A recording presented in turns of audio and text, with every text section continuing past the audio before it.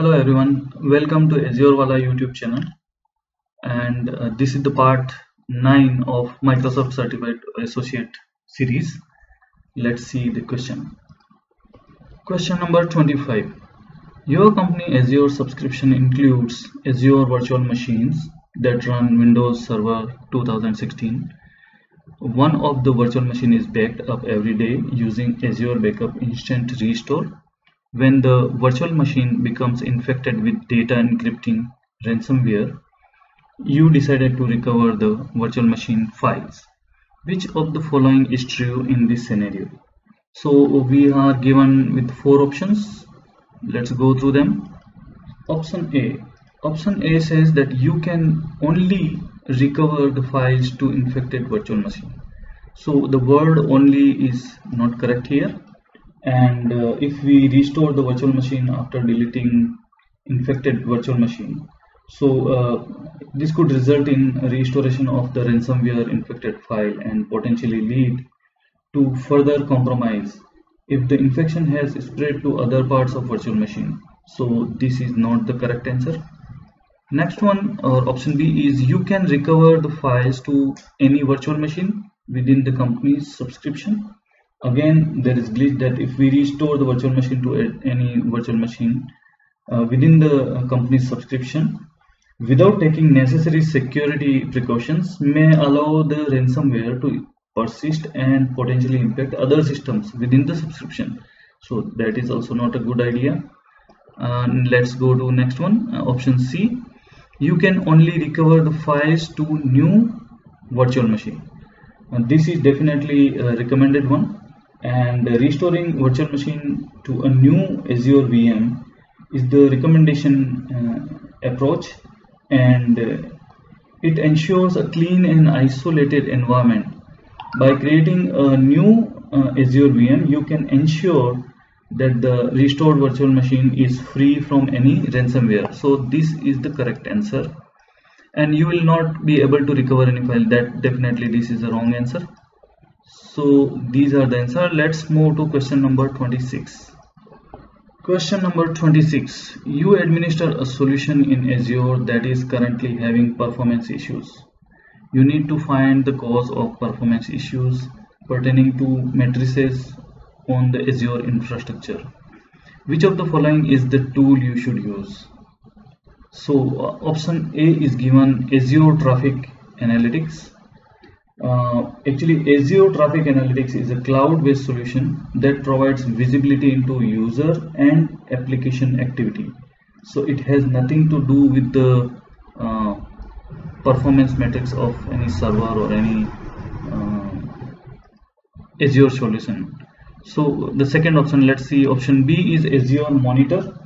Uh, Azure uh, Monitor is, you know, uh, matrices. So it checks the matrices under Azure Monitor uh, in time series database which is optimized for analyzing timestamp data. This makes matrices uh, particularly suited for alerting the fast detection of issue. So to find out the performance issue we are facing on the server, uh, the Azure monitor is the right place because it's having time series of Azure matrices. Uh, it looks correct option, but still what is the Azure activity log?